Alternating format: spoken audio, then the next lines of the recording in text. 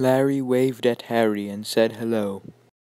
The moment Larry saw Harry's face, he realized that he was his long-lost brother, Larry Potter.